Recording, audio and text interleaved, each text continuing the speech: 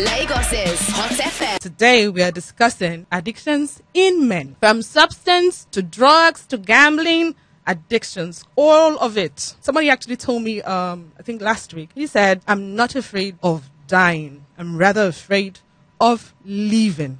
I've got my special guest in the studio with me today. He's a psychotherapist, he's a men's coach, a counselor, a keynote speaker, Dr. Temple Obike. What is that thing that people get from addiction that they can't get from anything else?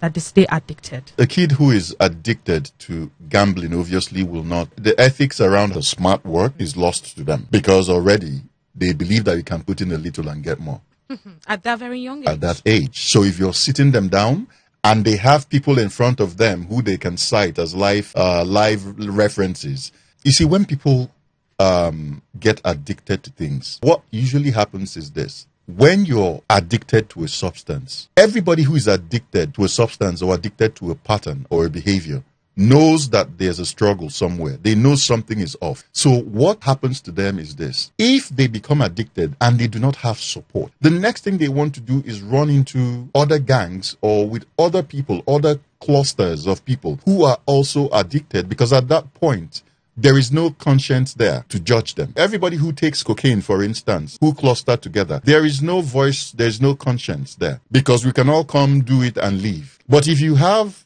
someone who can become your accountability partner, who, when they see you going through your cravings, they see you struggling, can tell you, calm down, listen, and the things that this person was taught by a therapist. You know, when you see somebody who is struggling and they are having their cravings, tell them to do this. Tell them to, you know, get uh, um, or, uh, um, a towel, put it in cold water, dab them with it. If you're in a hotel room, leave your hotel door open. These are little things you need to learn to handle your cravings.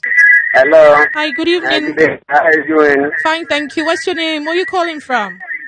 I'm calling from Lekki. Uh, what can you? What can we do about the smoking uh, smoking issue that you are talking about? For people who smoke, is it smoking, the, the first thing you must do to quit an addiction is, first of all, have an awareness. Yeah, that's very important. The awareness is the first thing. Once you're aware that there's an issue, you've engaged the first step. After which, you then move towards stopping the addiction. But one of the things you must understand about addictions is that you must understand triggers. Fantastic point. So, um, Dr. Obike, um, where can people, addicts, find support? Okay, so um, for addicts, there are about two, three places. So you can either go to um, a mental health institution. You can seek out the, you know, the services of a psychologist Okay.